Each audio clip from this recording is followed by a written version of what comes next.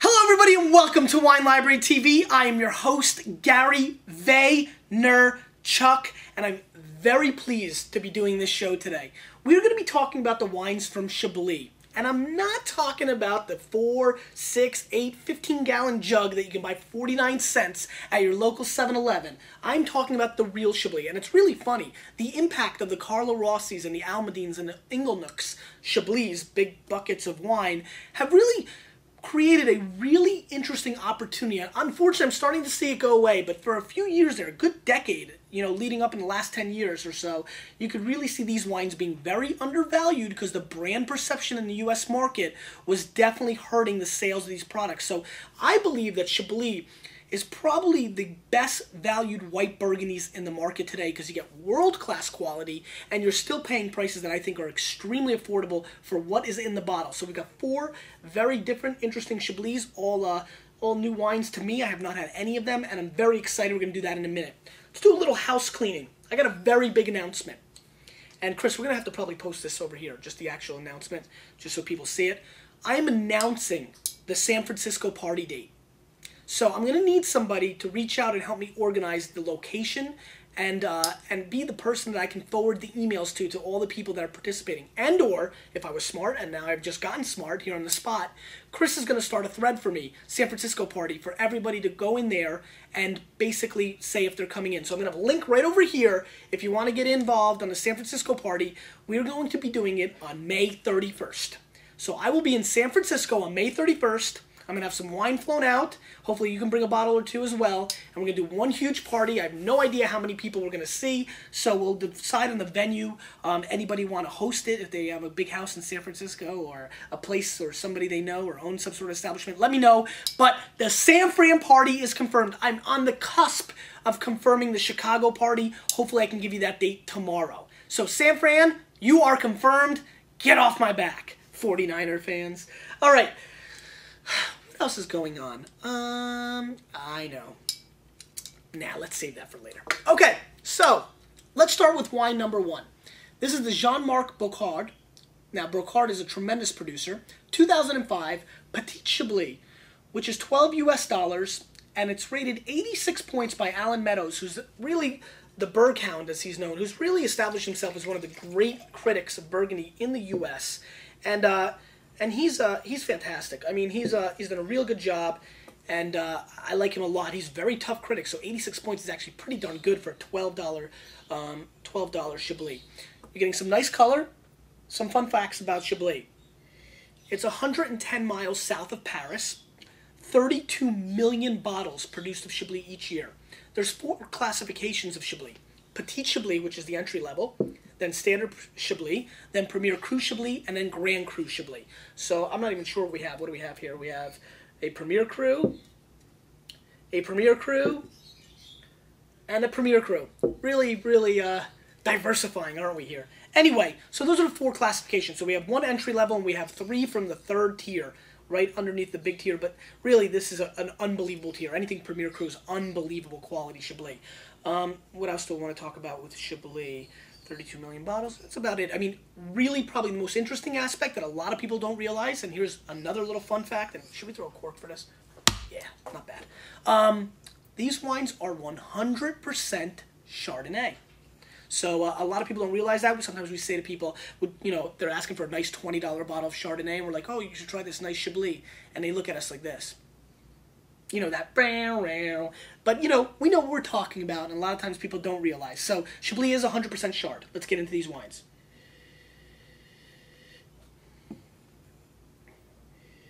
Nice subtle honeydew flavor on the nose. Uh, I'm getting a lot of cantaloupe on the nose in this wine, and little hints of real honey, like you know, honeycomb.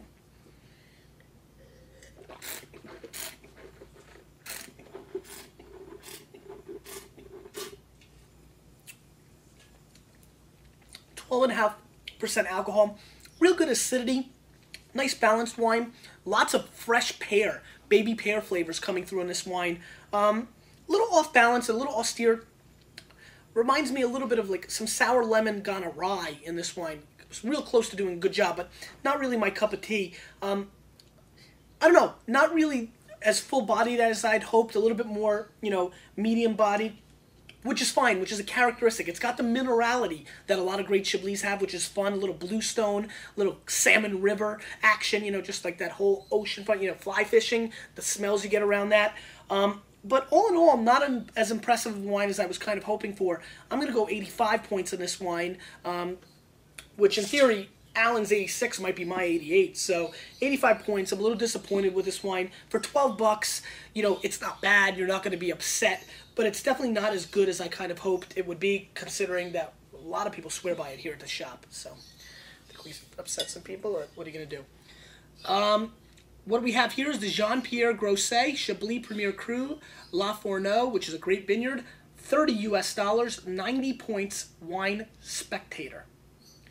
Chablis falls in the north part of the Burgundy region, and again, just has an enormous tradition that a lot of people don't realize. And going back to what happened in the U.S. in the 70s and 80s, really curtailed the progress of Chablis in the U.S. market. And that's been our treat. I mean, let's take advantage of it. We get ripped off by brands so many other places. Chablis is actually a place of quality where the brand has been mismanaged because of the rules in the World Wine Council allowed these wineries in California to brand things as Chablis in these huge jugs. So I'm screaming to you, I'm begging you, don't force me to bring out the knife. Go out and try Chablis because I'm telling you, unfortunately, everybody's getting a little more educated. And I guess I'm kind of contributing to that right now. So I apologize to all the Chablis heads because I'm going to get at least five emails from you guys upset with me for exposing it.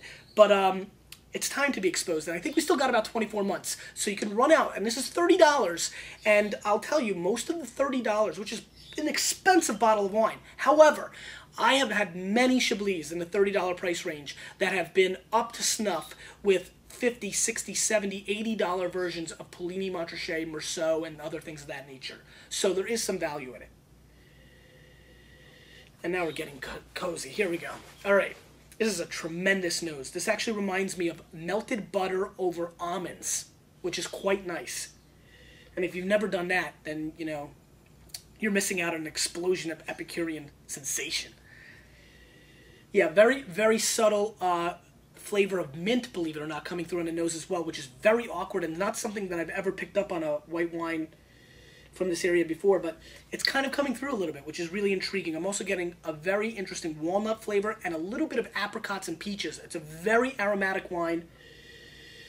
The flavors are very subtle. I would say that most people are going to pick up definitely the almonds and the melted butter on top of it.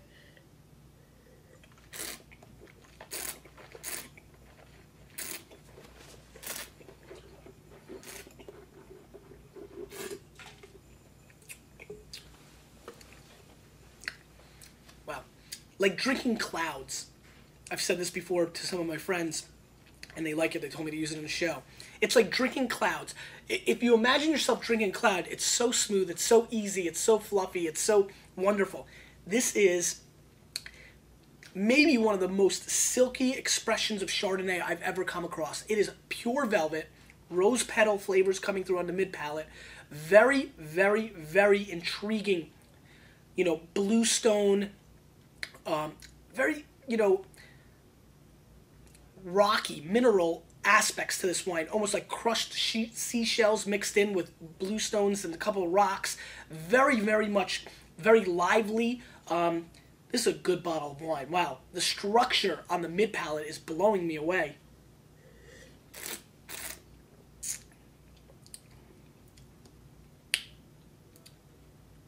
Impressive. Hints of lemon peel on the finish. Great bottle of wine. I'm going to go higher than the wine spectator. I'm going to go 92 points on this wine. This is an exceptional Chardonnay. 30 bones, you know, doesn't mean that you got to go scream out and buy 40 cases of this wine. But if you're able to seek this out, Grossot has some good distribution on the East Coast, especially. Uh, please do. This is a beautiful, beautiful bottle of Chardonnay. Kudos, and this is what Chablis is all about. And I'll be very honest with you. If you poured me this and said it was a $50, $60 Meursault, I wouldn't be appalled by the effort. Let's move on. And this guy is huge. This is one of my favorite producers. This is Jean-Paul and Benoit Droin. Drone. And this is a uh, 2005 Chablis Premier Cru, the Montée de Tonnerre.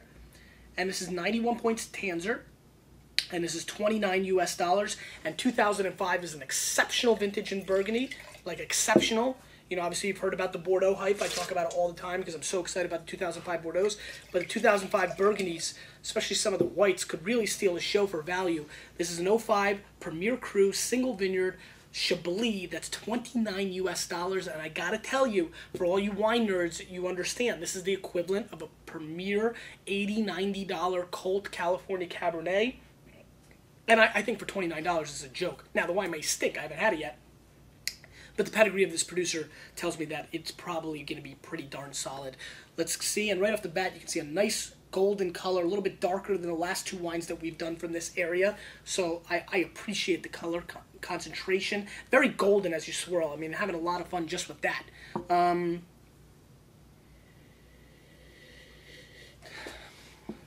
lots of oak, but subtle oak coming through on this nose pears and apples. I mean, just almost like taking an oak tree and like cutting up pears and apples in half and just smearing them against the oak tree. That's the symmetry of the nose of this wine. Is good. The nose is spectacular, actually. Very smoky. Um, smells heavy. I like to use that, and, and it does.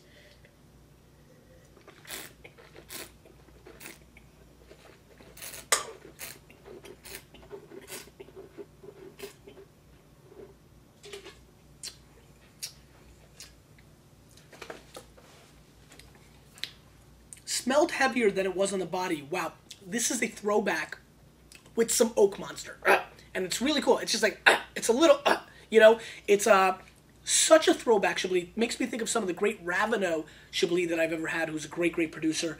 Even Dauvissat, it, it reminds me of a classic Chablis. Um, but there's just a tinge of finishing with that real New World oak, which is, you know, fine and very smoky and very good. Very deliberate connection in your palate when you're tasting this wine. It's very obvious the flavor profiles in this wine more than anything else. And we're talking about lemon peel, pears, apples, and again, once again, the classic characteristic of minerality that these wines offer that many wines don't. That kind of brings some sort of uh, balance to the wines that some Chardonnays get too over the top. There's a humbleness, there's a uh, lack of ego in these wines, and, and I appreciate that about Chablis. And, and a lack in ego in the way these wines are priced. And I think you should appreciate that. We sure do. This is a very well structured, little hints of vanilla, even a little, little bit of like a fig flavor coming through that kind of really pops as I'm tasting it still on the finish. I like this wine a lot. I'm going to agree with Stephen Tanzer on this wine and go 91 points on this wine. Um, I think the Grossot had a little bit more going for it. It was just a little bit more interesting on the mouthfeel. This is an exceptional example of Chablis as well, though, and should definitely be seeked out. Drone is one of the great producers producers in the world, let alone in Chablis. I like this wine quite a bit, 91 points. I mean, just thinking about having this now with, you know, a Mahi Mahi or, you know, a grouper, which I've been eating a lot of lately.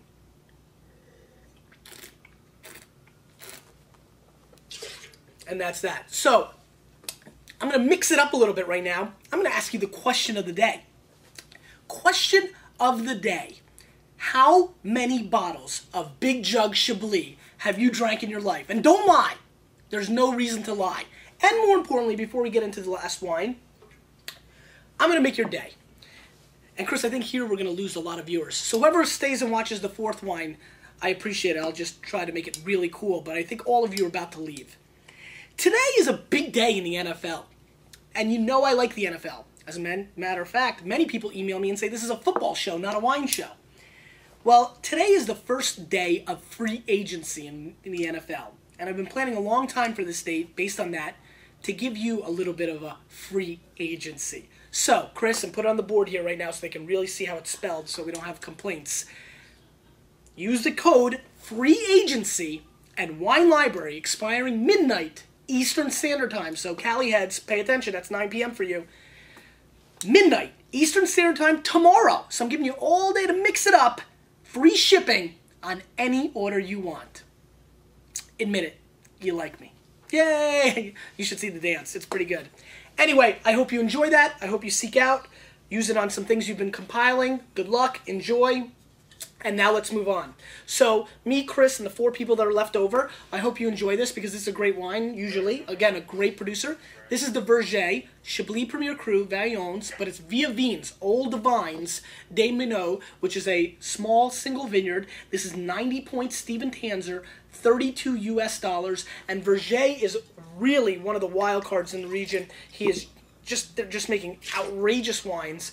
Um, very very sought after wines. People are big fans of this winery. I'm a big fan of this winery. Um, I think they do a great job. 13% alcohol. I mean, look at this color. Also very golden. You know, like the golden locks, the dusty roads, the American dream. Woo! Would come into the ring with, and I'm just seeing that, and that's getting me excited because why not? Whenever you can compare a beautiful $32 bottle of white burgundy to a WCW wrestler's hair, the winery never, never fails to hate that. So anyway, let's give this a little bit of a whirl. Very powerful nose. Definitely the most powerful uh, bouquet of the uh, four wines that we're tasting today. Um, coming very heavy at me, getting very, very heavy gobs of honey. I mean, just gobs. Like you go in there with the bee thing. I mean, I'm scared of that. I don't want to get stung, but you just get in there and you get just dripping out of your hands. Pineapple, which we haven't seen on any of these wines yet, coming through very obvious in this. And staying in a tropical theme, I'm also getting a very lively mango flavor. One of my favorite fruits a little bit of nutmeg coming through as well. And believe it or not, I almost get a sensation of eggnog, which is very intriguing, interesting, and different. And I like it. God, and it's obvious. You should definitely seek this out if you want a different experience and look for eggnog in the nose. It's really sick.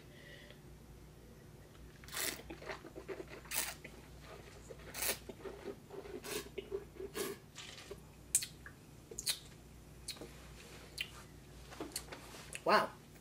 Wine's taking us for a different ride. I'm getting very lively sugar-coated celery sticks on the inside of my mid palate. And if you can imagine that combination, it's quite awkward and interesting. I like it. Really heavy acidity. I'm still feeling this is a baby of the bunch by far. This is kind of white wine I easily can see that standing out for at least 8 to 10 more years in your cellar. I'm enjoying this wine quite a bit. I like the structure. I like the burnt bark of a tree flavor that I'm getting in my mid transition flavor to the finish. Uh, it's got great structure. Once again, a wine that will do extremely well with any kind of dinner. Great full body. I mean, this is a full bodied wine. You know, you like that. And you know, I mean, this is really nice wine. I'm going to score nine, this wine 91 points as well. Um, I think it's a point higher than Tanzer thought. But again, as you can see, these are pretty consistent wines. I mean, this was a good tasting. I mean, we had three spectacular wines, in my opinion. Wines that I think are, are exceptional. Again, pushing that $30 price range so it's not like something you gotta go scream out and you know take out the fire hose and shoot everybody out so you can get the last six bottles but it's definitely something worth seeking out. A tremendous tremendous tremendous tremendous tremendous tremendous tremendous substitute for all those people that are drinking Ferrari Carano and Far Niente and Chalk Hill and Stag's Leap and Cakebread and you know all these $30 California Chardonnays which are very nice wines don't get me wrong but are so in the same style. These wines are more food friendly, more structured, and more complete in many different ways. Now, they don't give you the gobs of excitement, so it's like, you know, it's like a nice evening out with your loved one in compared to going to, you know, those whole things where they do the kingdom and you're eating with 30 people and you throw the spikes and like Knights of Columbus or, you know, all that stuff. So it's a very different mindset to what the California wines do. But, you know, sometimes it's fun to go out to dinner with the person you love. And I love these wines, and I, I think Chablis is something that you need to seek out they are very interesting wines. We didn't have any regular Chablis that weren't Premier Cru, but these wines can be found between 15 and $18 in the marketplace and bring a lot more value, in my opinion, than most Chardonnays from around the world in that price range. This is a category I'm excited about, as you can tell, but not as excited as you are about free agency code that's going to give you free shipping on any order. So uh, we're throwing you that bone. I hope you enjoy it. I hope the Jets sign a couple huge players. Give me a couple predictions of some Jets players. And more importantly, and this is where people ran off and might get stung. This is where Gary gets a little tricky. Your free shipping code will not be valid without a comment in today's episode. Not bad, huh? That's right. We're going to charge you the shipping after the website didn't charge you the shipping. We're bad. Because you, with a little bit of me, we're changing the wine world, aren't we?